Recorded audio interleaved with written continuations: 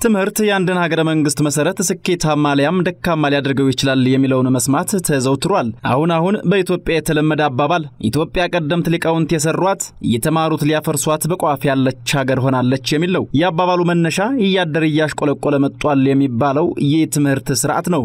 የትምህርት ስርዓቱን ለማሻሻል በተለይ ትምህርትን በብዛት ሳይሆን በጥራት ለማስተማር በሚል እንደ አዲስ በረቀቀ የትምህርት ማሳለጫ ወይም ፖሊሲ ወደ ትግበራ ቢገባም ከአሁን ቀደም ይነሱ የነበሩ ብልሹ አሰራሮች በተራቀቀ መንገድ መቀጠላቸው ተገልጿል። ለወትሮ ሐሰተኛ የትምህርት ማስረጃ የጓዳ መመዘኛ ሲካሄድበት ሐሰተኛ መሆኑ ይጋለጥ፣ ግለሰቡን በሕግ ተጠያቂ የሚሆንበት አግባብ ነበር። ይሁንና ዛሬ ዛሬ በጓዳ መመዘኛም ሆነ በተጓዳኝ ምርመራዎች ሐሰተኛ መሆናቸው የማይረጋገጡ ግን ሐሰተኞችና በገንዘብ የሚገዙ የትምህርት ማስረጃ ባለቤቶች በርካቶች መሆናቸው ይነገራል።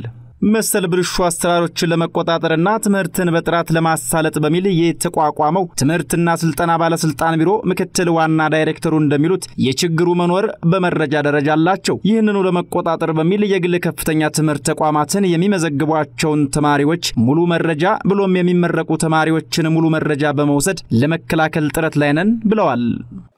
አንድ የትምህርት ተቋም ፈቃድ ሲሰጠው በአንድ የትምህርት መስክ የሚቀመጥ ለተማሪ ቁጥር አለ።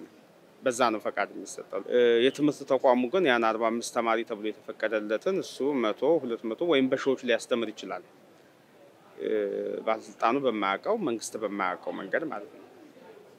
እነዛ የትምህርት ማስረጃዎች completely በመንግስት ቁጥጥር በመንግስት አይን ስር ያልሆኑ የትምህርት ማስረጃዎች ስለሆኑ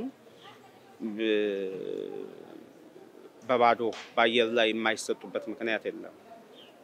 እንዲሁ በገንዘብ የማይሸጡበት ምክንያት የለም። እንዲህ አይነት የትምህርት ማስረጃዎች እና ዋናው ችግር ያለው የተማሪ ቁጥሩን ተከትሎ ሕግን አግባብ ተከትለው ተቋማቱ የመስራት እንትኑ እየበረከተ ስለመጣ ነው። ችግሩ እየበረከተ ስለመጣ ነው። ይህንን ለመከላከል ምንድነው ያደረግነው?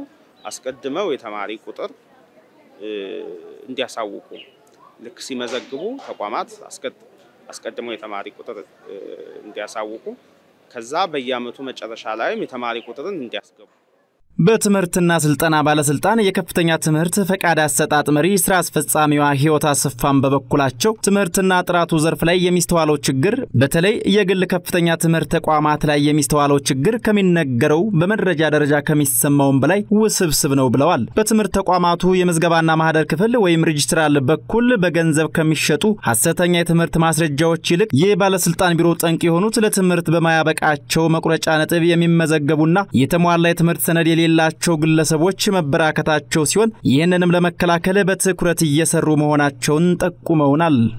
በመሰረታዊነት ያስቸገረ ያለው በ process ውስጥ የሚያልፉ ብቻ አይደለም፣ ተምረው ተምረው process ኡን ጠብቀው ተምረው ጨርሰው ነገር ግን ለ document authentication በሚመጡ ሰዓት ከተመዘገቡት ውስጥ የማያሟሉ ሊኖሩ ይችላሉ። ለምሳሌ ከታች late COC ሊሆን ይችላል። ከታች ሲመጣ COC ውን ዲግሪውን እየተማረ COC ውን እየተፈተነ ያለ ልጅ ሊሆን ይችላል። ያ ማለት በ promising የተመዘገበ ማለት ነው። እንዲሁም ደግሞ መቁረጫ ነጥብ የመቁረጫ ነጥቡ ምናልባት በጣም የአንድ ቁጥር የሁለት ቁጥር ልዩነት ሊሆን ይችላል። ችግር የለውም በሚል ምክንያት ሊመዘገብ ይችላል። case ኦቹ ብዙ ናቸው፣ ግን ከጥቂቱ በብዛት እንደዚህ አይነት ነገሮች ይስተዋላሉ። በተለይ late COC ሲኦሲ በትምህርት ላይ ሲኦሲ ራሱ የትምህርት መማሪያ አንዱ መስፈርት ነው፣ ወደ ዲግሪ መቀጠያ ማለት ነው። ስለዚህ ችግር የለውም ብለህ ልትመዘገብ አችልም። በእርግጥ አሁን አሁን ባለው ሀገራዊ ነባራዊ ሁኔታ ኢትዮጵያ የምትከተለው የትምህርት መስክ ይህ ነው የሚባል ፍልስፍና የሌለው በመሆኑ በፍላጎቱ ከሚማረው ትውልድ ይልቅ መምህራኖቹና የሚማርበት ትምህርት ቤት የሚመርጡለትን የሚማረው በርካታ ነው ይባላል። ትምህርቱን ከጨረሰ በኋላም በተማረበት የትምህርት መስክ ስራ ከማጣቱ የተነሳ ገበያ ላይ ተፈላጊ የሆነውን የትምህርት መስክ በገንዘቡ ለመግዛት መሄዱ ወይም ሌላም መንገድ መሞከሩ አይቀሬ ነው የሚሉት ምክትል ዋና ዳይሬክተሩ ናቸው። አክለውም ጉዳዩን ለመፍታት እንዲያስችላቸውም ቀጣሪ ድርጅቶች የሰራተኞቻቸውን የትምህርት ማስረጃ ጉዳዮች እንዲያጣሩና ከባለስልጣን መስሪያ ቤቱ ጋር በጋራ እንዲሰሩ አሳስበዋል። ማንኛውም የጤና ምሩቅ የትምህርት ማስረጃው ተረጋግጦለት ነው በባለስልጣኑ ቀጣይ ስቴፕ የሚሄደው። በሌሎች የመንግስትም ሆነ የግል ተቋማት ውስጥ እስካሁን የነበረው ተሞክሮ የትምህርት ማስረጃዎች ይረጋግጣሉ፣ ግን ተሞክሮ ይሰፋ አልነበረም።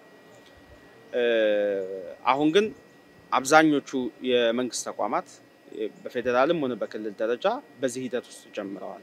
አብዛኞቹ ስማቸውን ብዘረዝር ጊዜ መማበቃኝ ተቋማት ሰራተኞቻቸው በዚህ process ውስጥ እንዲያልፉ ሂደት ጀምረዋል። ከክልሎችም በተመሳሳይ በተለይ ደቡብ ምዕራብ ክልል አሁን አብዛኞቹን የትምህርት ማስረጃዎች እስከ ወረዳ ድረስ እንዲረጋገጡለት እየላከ ነው ያለ።